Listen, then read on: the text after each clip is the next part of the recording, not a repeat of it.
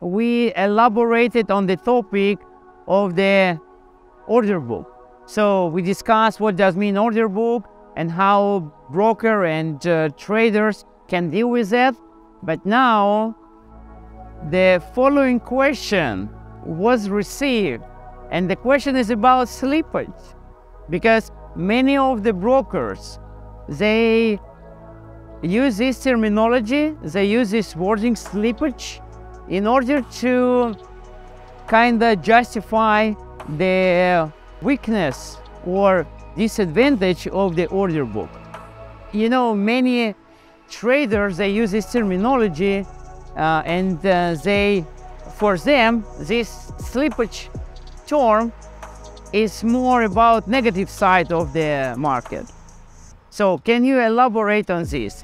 What does mean in reality slippage? How this slippage actually does occur and uh, how to deal with it and what, what, what, what actually to do? So the term slippage, I think is a misperception out there that has been created over the years. Whenever you send an order to market, don't forget there's going to be market impact. There's going to be price fluctuations.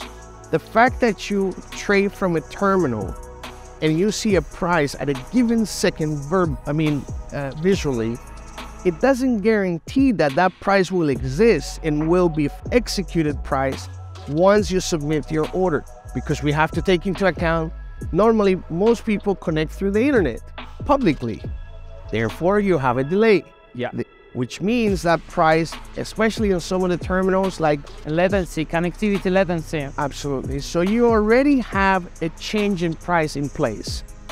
Another thing that I see quite frequently is some of this software, some of these trading platforms cannot absorb enough data, which means enough price updates. Therefore, you don't see that the price has changed on time.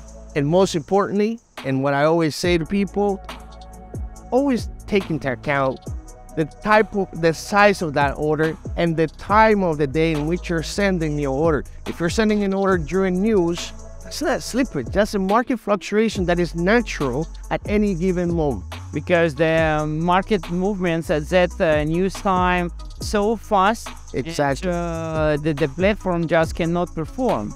That's where I think the misperception comes along. Now, when you're dealing with a large clip size and the market moves in a certain direction that most people consider against themselves, that's probably what I think uh, or we know as liquidity consumption. What does it mean, liquidity consumption? You have an order size that is substantial, you absorb liquidity, which means you sweep to the order book that depth of the market was there, but the based on your order size, you may sweep the entire liquidity at that moment. That's not slippage in the real liquidity space. It's a market, it's a market impact.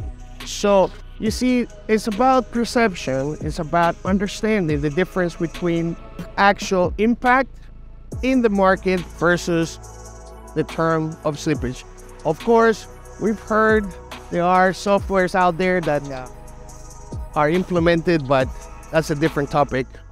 So, but you know, John, I would point out here that from the trader side, it's it's very important to find that broker who doesn't use this kind of software that can cause some delays and create that slippage. But another type of the brokers who are running the normal fair brokerage business, what basically in that case, it's not a slippage, it's a market impact. And uh, when you hit the orders, when you send the especially market orders to the market, you have to take, take in account that there is behind the price, what you can see visually, there is the order book. And uh, depends on your order size, you will receive market impact. I see a lot of cases, uh, or we hear a lot of cases where customers look at a price or what we know in the software like MetaQuotes that has a top of the book. That's what the broker is displaying to you. You send an order which is pretty large in size, and the expectation is that that price that you saw is the price where you're going to get filled at, which is totally inaccurate. You always need to look at the depth of that book uh, in order to understand and assess the impact of your order. Okay, John, thank you very much. And uh, guys, enjoy your trading. Be careful with the terminology. You always have to know all the details behind the deal, behind the order. You have to understand how the market works. So you have to understand the concept of the capital markets in a sense. So that's why thank you very much. Thank you, John. Pleasure. Thank you.